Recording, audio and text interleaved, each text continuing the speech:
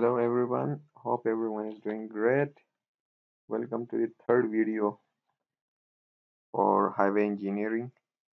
So in last video, I think we completed question number 30, right? And today I'm looking to cover question number 31 to question number 40. So in this video, we will cover these 10 questions. So let's start with question number 31. So question is saying that the convexity provided to the carriageway between crown and edge of pavement is known as our options are super elevation, camber, height of pavement and none of these. So let's see what actually is what actually are these terms super elevation, camber, height of pavement then it will become easy for us to choose the right answer. So in this slide you can see that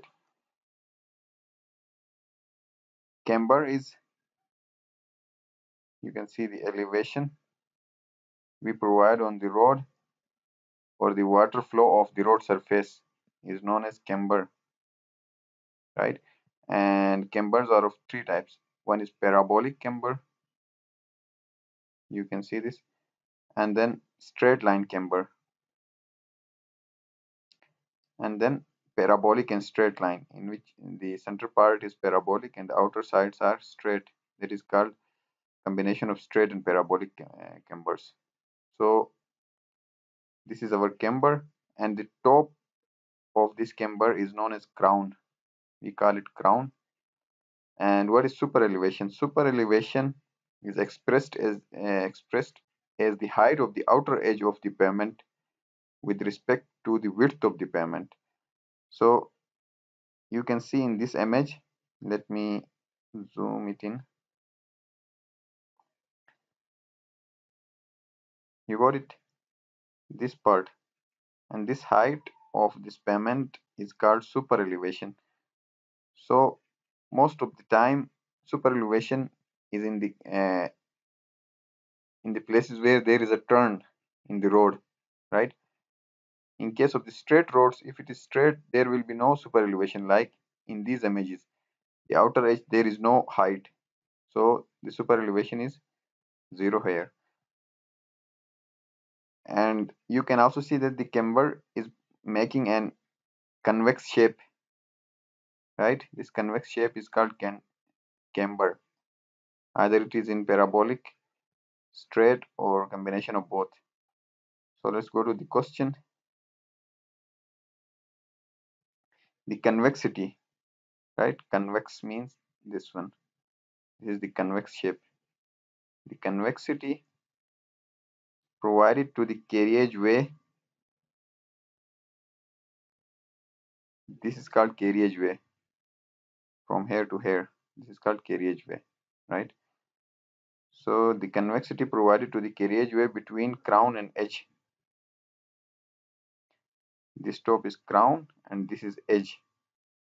So the convexity provided on the road or the carriageway from the crown to the edge is called camber. So for question number 31 our right option is camber. Next question 32 if the difference in elevation of an edge of the pavement is 9 meter wide and its crown is 15 centimeter the camber of the pavement is and the things which we uh, we are provided with is the the difference in elevation of an edge of the pavement. The pavement is 9 meter wide and its crown is 15 centimeter. the what will be the uh, ratio in the camber so it's some sort of numerical we have an equation for straight camber right? For straight camber the equation is y is equal to w divided by 2n w is the width of the road n is the slope y is the height of the camber or crown. So when we put all these values we will get n. We have w width given we have y which is the height of camber when we put these values here we will get n as 30 right? N is the slope. So our slope gradient will be 1 into 30 so we need to remember this equation for uh, camber the equation for straight camber so option number c is the right answer for 30 question number 32 the next question is 33 in scanty rainfall regions the camber provided will be either nil flatter steeper or none of these. Let's see what actually is scanty rainfall regions. Actually the regions that receive least amount of rain are known as scanty rainfall regions. So actually the main purpose of providing a camber is that is to uh, run off take out the water flow from the road surface right in secondary uh, secondary rainfall regions there is no rain. So actually there is no need of slopy chambers cambers slopy cambers on the road. So we need to provide steeper or flatter flatter uh, cambers in the regions where there is very less rainfall secondary rainfall regions.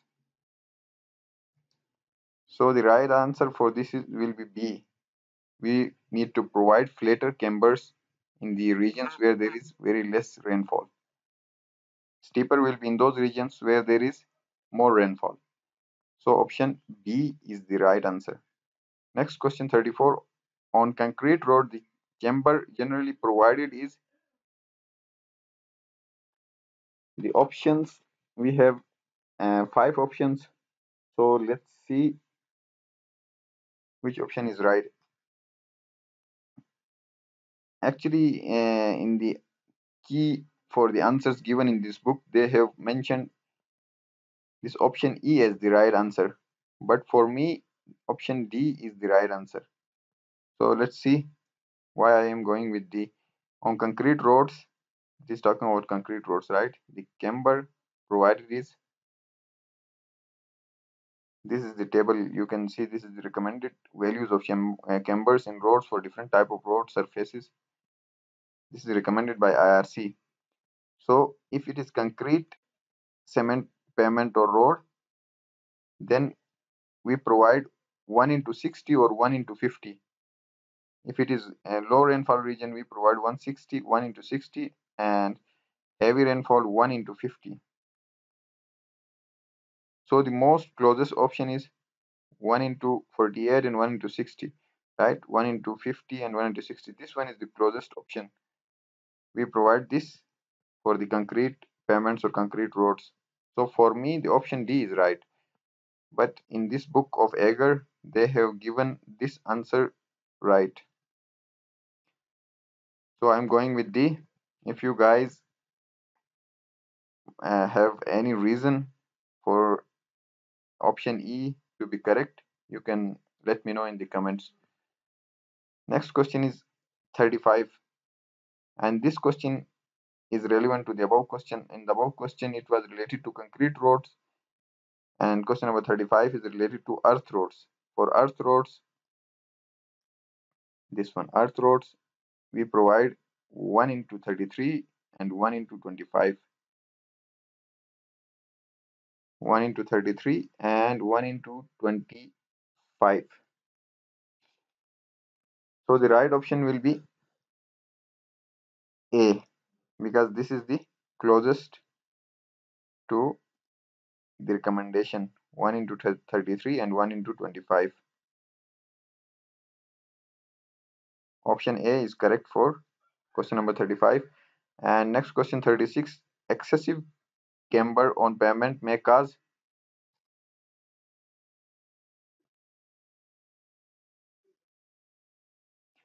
actually if we provide the camber excess elevation more height and more elevation then it can cause the effects are it reduces the road width as everyone will try to move in the middle of the road right? If you give excessive road camber height and the second is the road will wear and tear on the edges on the edges edges of the road will wear and tear. The passengers feel like your drive or your journey will be unbalanced and discomfortable if you provide excessive road camber. Chances of accident will increase. So these are the drawbacks of uh, providing excessive road camber height. Let's see the options. Option A is deterioration of central portion. This is right. If we give excessive height to the chamber, it will deteriorate the central portion of the road. Option B, slip of the speedy vehicle towards the edge. This is also right. Erosion of the berms. This is also right. So all of the above options are right. If we give height or excess, excessive chamber on the pavement, it will cause all these three. So all of the above option, option D is right. Next question is, camber in pavements is provided by, let's see. As in this picture, you can see there are different types of cambers. Parabolic, we can give a parabolic shape to the camber. Straight lines to the camber, either the combination of both parabolic and straight on the edges. So these are the three types of the camber. So in this question, question number 37, camber in the pavements is provided by straight line method, right? Parabolic method, this is also right. Straight at the edge and parabolic at the crown, is also right. So the all of the above option, option D is right for question number 37. Next question, question number 38, on a pavement with parabolic camber, okay, the angle of in, uh, inclination of the vehicle will be obviously let's see if we look at the parabolic shape it is actually almost straight in the center right? But at the edges it is slopy. But if we look into the straight one it is slopy more slopy at the crown portion at the center right?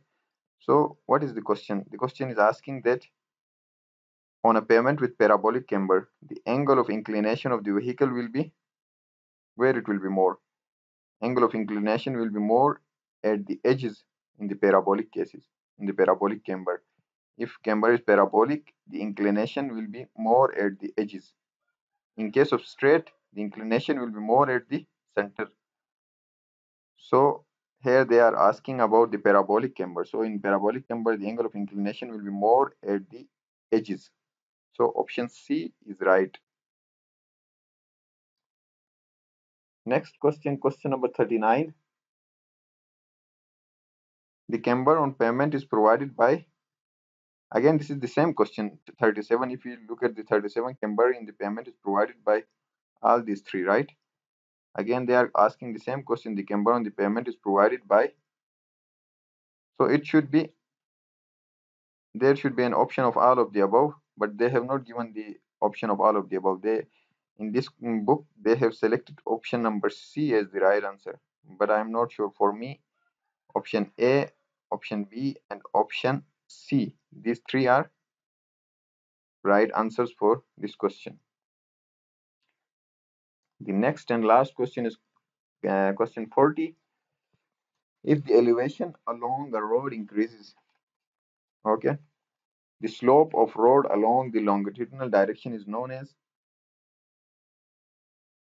let's see what actually is gradient and positive grade and negative grade, then we can choose the right answer. If elevation along the road increases, then that is positive grade. If elevation is decreasing, that is called negative grade, right? So here they are asking sorry here they are asking about the elevation if the elevation along the road increases the slope of the road along the longitudinal direction is known as for me it is positive grade. But in uh, the answer key they have given option a as the right answer. In one case it, uh, option a can be right answer. That is that first of all we uh, we call it gradient. After that we divide the gradient into positive and negative grades so maybe if we look to the answer in this scenario then we can select gradient as the right options. Right option otherwise they have clearly mentioned that if the elevation of uh, elevation along a road increases obviously when the elevation increases that is called positive grade. But in other scenario as i said if we consider this definition that uh, first we call it gradient. After that we divide the gradient into positive and negative. So we can choose option a as right answer in that case. So i'm going with option c. So that's it for today's video. Video number three. In next video fourth video we will cover question 41 till question number 50 so see you guys in next video. Goodbye